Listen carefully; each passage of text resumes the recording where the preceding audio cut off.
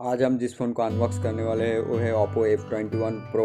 इसके डिस्प्ले में अगर आप अब देखोगे तो मिलता है आपको 6.43 इंच का एमोलेड स्क्रीन 90 हर्ज डिस्प्ले रिफ्रेश रेट के साथ और इसका डिस्प्ले नीट से 430 और इसका पीपीआई डेंसिटी जो है 409 का।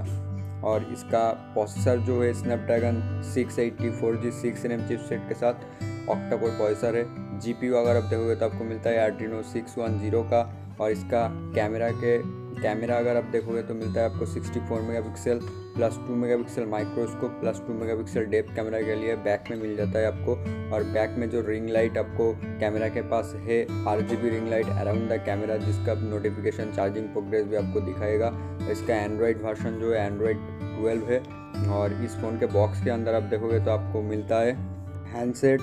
सिम का tool adapter micro USB cable quick guide and एक सॉफ्ट जेली कवर और इसका कलर जो है सनसेट ऑरेंज